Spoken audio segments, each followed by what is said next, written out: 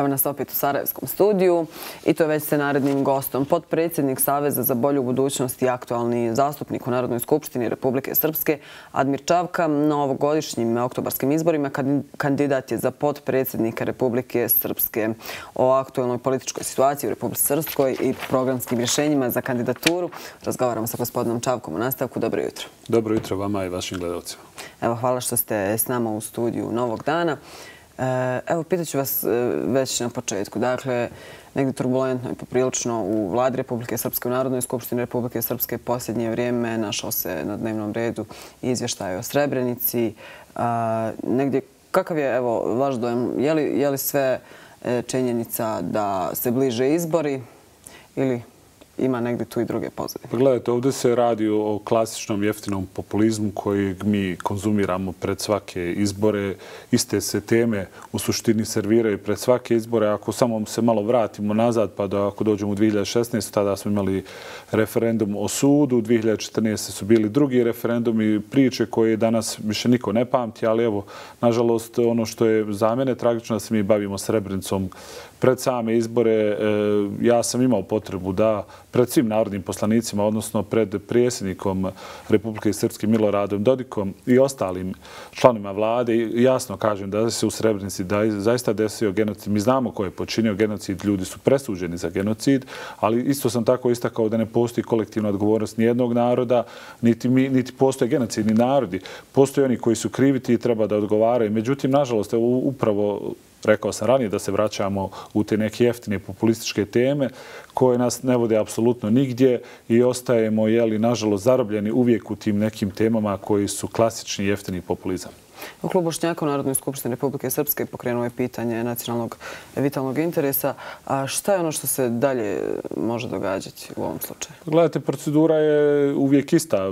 Ustavni sud Republike Srpske će dati konačnu svoju ocjenu i vidjet ćemo šta će u konačnici da bude. Međutim, evo, mi ćemo se u toj temi biti vjerovatno nekad tamo do, do, do, do kraja same kampanje do oktobra i poslije toga apsolutno nikom neće biti bitno da li je e, zaključak poništen ili nije pravno gledano, taj zaključak Narodne skupštine apsolutno nikakve nema veze pravne posljedice, nema ni, ni, ni po jednu presudu, niti bilo šta. E, vraćamo se na ono da se bavimo populističkim temama i nažalost, evo, e, po meni je tragično da mi pričamo o Srebrenici, o genocidu u, u vrijeme izbora, a evo ja sam često naglasio da u toj samoj Srebrenici živi 800 ljudi, dakle i Bošnjaka i Srba koji su tu i koji su ostavljeni i na jedan način prepušteni sami sebi. Evo recimo, što je ono e, čime bi se vi bavili, kažete, nećete da govorite o populizmu uh, u, evo, u okviru svog mandata, da što je ono što ćete uopšte ponuditi glasačima na osnovu čega bi vas mogli izabrati? Gledajte, prvenstvo želim da kažem da u, u Republike Srpske, ove godine je upisano 9000 prvačića. Dakle, imamo 9000 djece koja će da pohađa prvi razred osnovne škole, što je statistička greška o tome nikada nećete čuti da pričaju političari, jer to nije naravno zanimljivo.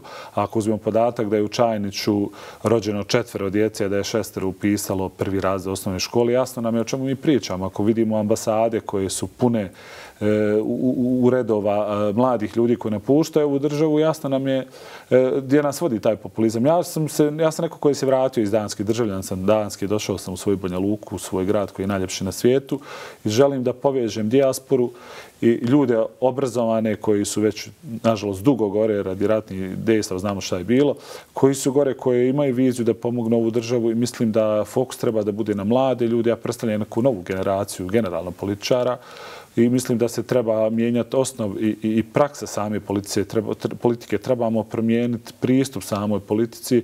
Mislim da moramo biti uz narod, biti sa narodom, a ne pisati saopštenja i baviti se ja i često Evo, kako, volim. Kako tačno biti uz narod i sa narodom? Pa gledajte, treba obilast narod, treba rješavati probleme, a ne e, voditi virtualne ratove. E, mi imamo virtualne e, ratnike iz Sarajeva, iz Banja Luke, koji na, na bazi medij, medijskog dobacivanja ili gađanjem kamenjem iz Sarajeva ka Banja Luci obrnuto e, 20 godina nešto funkcioniše i uvijek smo, uvijek smo u tome stadijumu da je dobro je da se ne puca i da li će biti rata. Te su dvije teme uvijek aktuelne, a evo vrijeme nam prolazi. Evo, naglašavam da smo, nažalost, postali statistička greška. Mi u Republike Srpskoj, dakle, imamo 9000 djece upisani. A ako, ako pričamo o povratnicima, broj povratnika se prepolovio u posljednjih 10 godina i povratnici napuštaju ponovo prostor manjeg BH entiteta, ljudi odlaze s kartom u jednom pravcu.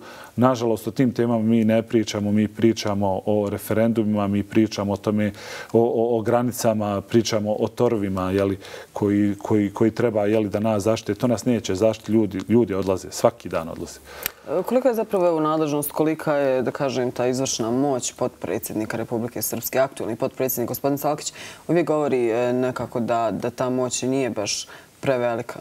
E, moć, moć samog podpredsjednika nije velika. Izvršna vlast je, je dodijelila mjesto podpredsjednika nakon intervencija visokih predstavnika. Međutim, e, e, simbolički znači dosta da, da, da, tim, da neko predstavlja narod, dakle u ovom slučaju Bošnjake, ali evo i da kažem da, da budući podpresnik treba da predstavlja sve ljude koji žive u Republici Srpskoj. E, mislim da, da se mora, mora biti više uz narod, rješavati konkretno probleme. Postoje mehanizmi kako rješavati probleme. Evo naglašavam da je ključni problem povratnika, odnosno svih ljudi koji žive u Republike Srpskoj, ekonomija i zapošljenje. Ljudi nemaju posla i iz tih razloga ljudi napuštaju uh, prostore i to su, to su egzaktni, to su činjenice uh, koje možemo da vidimo svaki dan na terenu. E, ko su, evo, ko su populacije kojim se vi obraćate? Jesu li to mladi ljudi, jesu li to povratnici, jesu li to ljudi koji možda već imaju neko odranije formirano prosto glasačke stavove koji su potpuno različiti od onoga što vi nudite pa vjerujete da mogu promijeniti? Jesu li to ljudi koji ranije nisu izašli na izbore? Prvenstveno želim da dođem do ljudi koji su izgubili vjeru da se nešto može da mijenja. Ja, ja zaista mislim da se može da mijenja. Ja zaista vjerujem u ovu mladu generaciju. Vjerujem u ljude koji žele da žive u ovoj državi, da ovu državu gradimo, da budemo dostojanstveni svoga života. Ja tvrdim da je Bosna i Hercegovina jedna od najljepših država. Ja putujem po cijelom svijetu, po cijeloj Evropi. Tvrdim da ova država je puna dobrih ljudi, dobrih ideja i tim ljudima treba, da, da, treba dati šansu. Ja sam neko koji će to da predvodi i, i evo smatram sebe kao jednim mostom između dijaspore i, i same Bosne i Hercegovine. Puno poznajem ljudi gore, jako uspješni privrednika. E, koliko je upravo bitna ta kvalitetna veza između dijaspore i Bosne i Hercegovine? Pa, moram reći da u ovom trenutku mi je nemamo. Nema, nema sistem koji će pomoći tim ljudima da, da, da nešto izgradi ovdje. U Banja Luci postoje pozitivni primjeri. Tu su neki moji prijatelji koji su došli, otvorili firme, zapošljavaju po 50-30 ljudi, ali to su, to su, to su samo individue.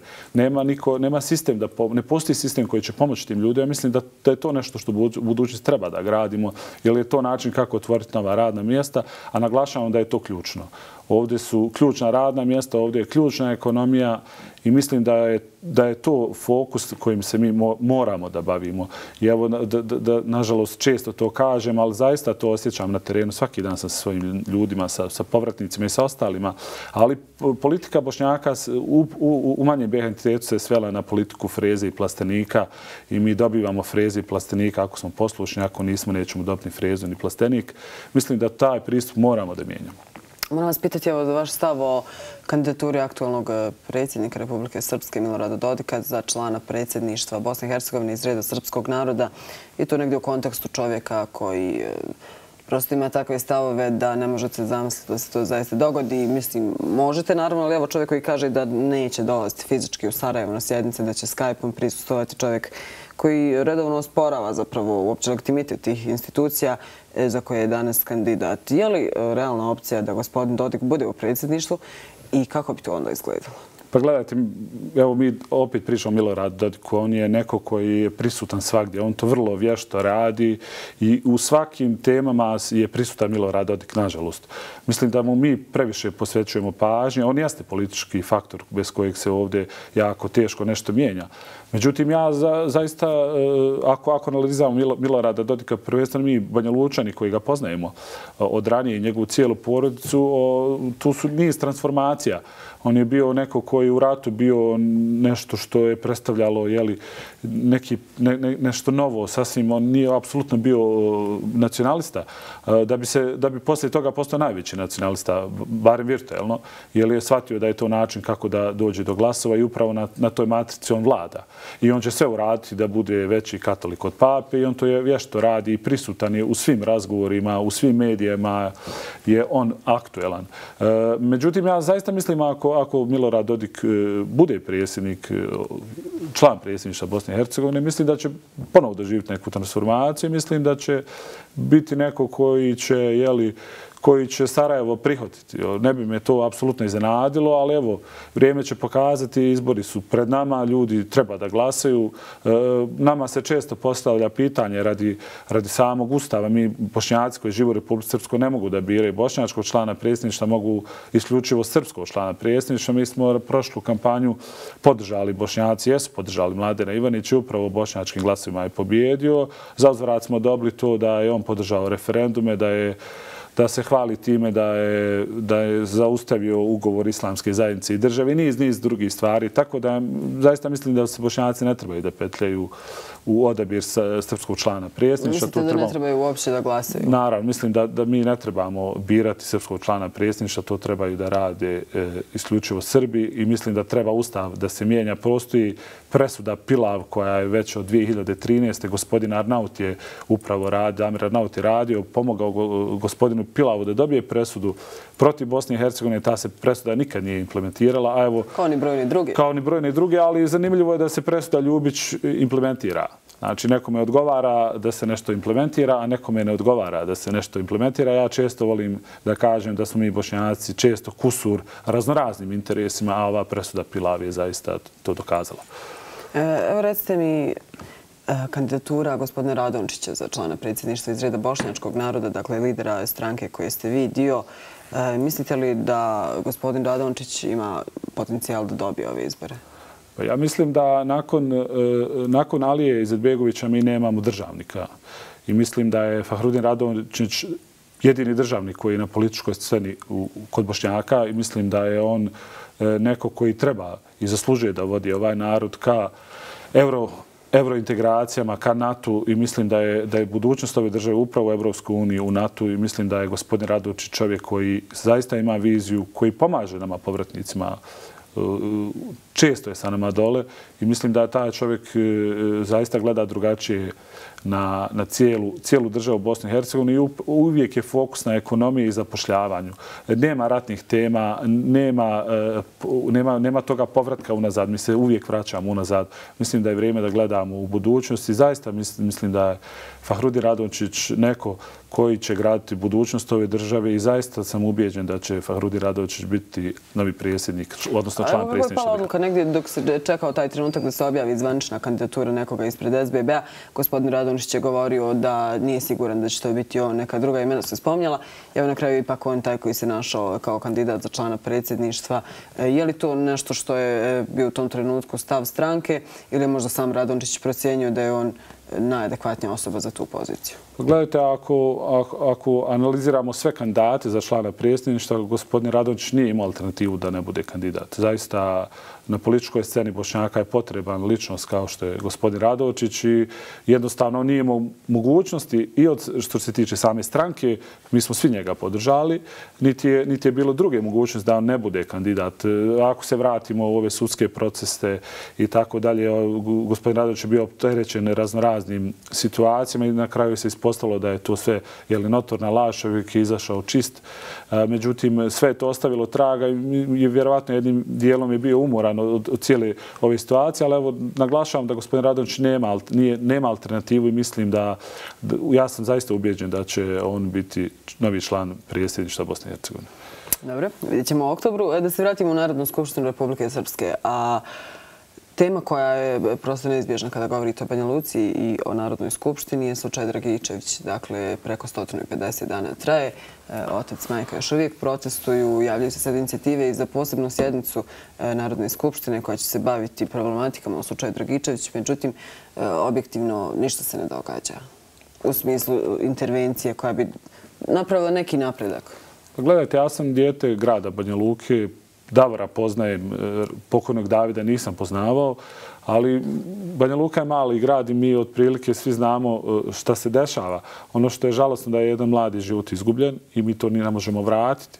150 dana evo, već je prošlo od kad su protesti u samom centru grada. Ja sam pristao na mnogima od njih. Međutim, mislim da Narodna skupština nije mjesto gdje se treba da raspravlja oko tih stvari. Ja sam uh, E, potencirao tu temu i rekao sam da je bilo i ubistva Bošnjaka u Banja Luci, pa nikada niko nije protestovao, niti je Narodna skupština raspravljala o tome. Mislite li da je uopće sad tu bitno e, da li je osoba koja izgubi život Bošnjak ili Srbinu apsolutno, Apsolutno nije bitno, ali e, mislim da Narodna skupština nije mjesto. E, ovdje, ovdje treba da fokus bude na tužilaštvu koji ne radi svoj posao adekvatno. Njima je trebalo, ne znam, 90 dana da, da, da otvore slučaj i mislim da, da od, od, samog, jeli, od samog otvaranja slučaja mi nemamo nikakve informacije iz tužilaštva. Ne znam zaista šta ti ljudi rade. Mislim da je to najveći problem ovoga društva. E, tužilaštvo koje ne odgovara nikome i koji mogu predmete da drže jeli, niz godina. Mislim da, da, da moramo graditi jake institucije. Mislim da je budućnost ove države upravo jačanje institucija, a one danas, nažalost, nisu.